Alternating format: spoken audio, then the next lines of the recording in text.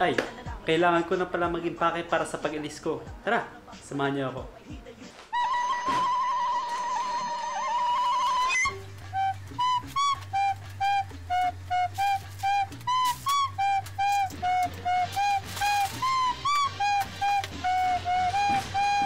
Teka, teka. Ang hirap mag-impake! So paano nga ba mag-maximize ang pag-pack ng isang maleta para sa iyong pagsampa? At kung ano-ano ang mga gamit na pwede mo ilagay dito dahil bawal itong i-hand carry. Hi! Ako nga pala si Ejo. At nandito ka ngayon sa Happy Makinista.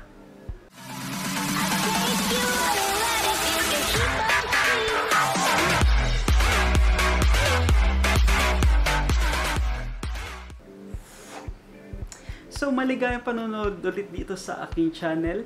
At kung bago ka lang dito ay click na subscribe button sa baba para makatanggap ng notification sa tuwing ako ay mag-upload ng bagong video. Kung hindi mo pa napanood ang aking video na tungkol sa Seaman Starter Pack ay click lang dito banda para yun mapanood. At kung hindi ka pa nakasubscribe ay okay lang yan, hintayin kita.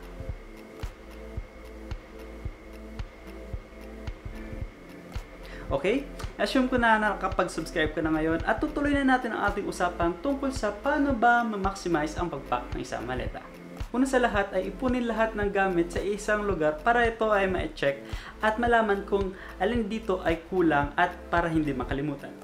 Sunod ay tignan dito kung alin ang mga bagay na merong laman na pwedeng matapon sa loob ng inyong maleta kapag ito ay naipit. Katulad ng toothpaste, shampoo, at lotion kung meron man.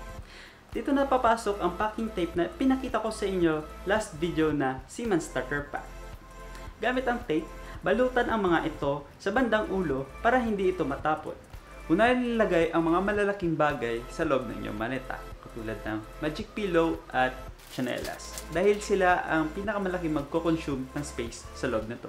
Sunod ay mga damit, katulad ng long sleeves, t-shirt, shorts, jogging pants, at iba pa. Gayahin lamang ang pagtutupi.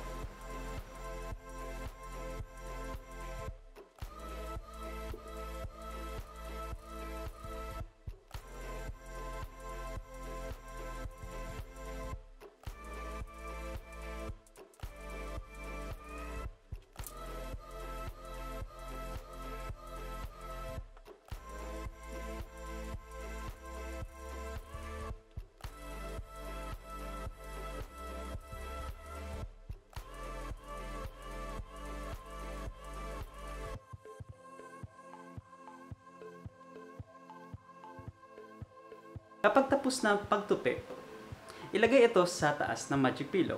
Sunod ay ang mga maliliit na gamit tulad ng underwear, socks, toothpaste, shampoo at iba pa. Ilagay ito sa pagitan ng magic pillow at mga damit o di kaya sa loob ng iyong tsinelas. Isang mahalagang paalala, kapag kayo ay mag-check-in sa airport, bawal na magdala ng kahit anong liquid na higit sa 100 ml sa loob ng eroplano. Kaya siguraduhin nakalagay ito sa loob ng inyong maleta, katulad ng mga pabango. So yan na lahat ng pro tips na i-share ko sa inyo tungkol sa pag-maximize ng pag-pack ng isang maleta. Kung meron pa kayong gustong idagdag, ay comment nyo lang badang baba para makatulong pa sa ating mga kabago. Hanggang sa muli, ako pala si Ejo, ang nagsasabing, dagat, panganib ang dala, tibayan ng loob sa bawat pagsuka.